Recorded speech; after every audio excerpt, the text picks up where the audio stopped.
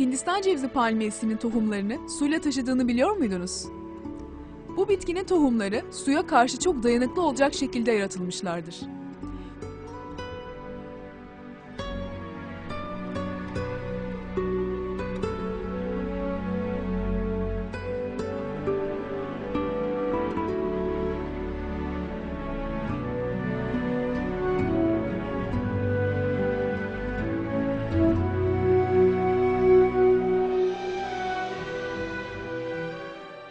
Bu tohumlar suda yaptıkları 80 günlük uzun yolculuktan sonra karaya ulaştıklarını anladıklarında çimlenmeye başlarlar.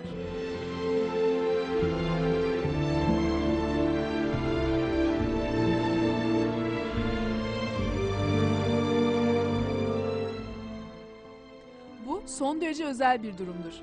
Çünkü bilindiği gibi bitki tohumları suyla temas ettikleri anda çimlenmeye başlarlar. Ancak Hindistan cevizi palmiyesi bu konuda ayrıcalıklıdır.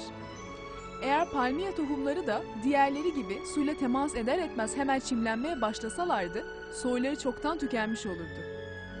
Oysa bu tohumların çimlenmelerindeki hassas ölçüler sebebiyle bitki asırlardır neslini devam ettirmiştir.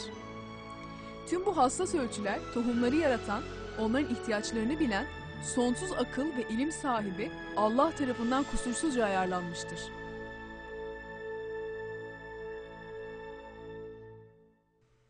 Şeytandan Allah'a sığınırım. Yere gelince onu döşeyip yaydık. Onda sarsılmaz dağlar bıraktık ve onda her şeyden ölçüsü belirlenmiş ürünler bitirdik.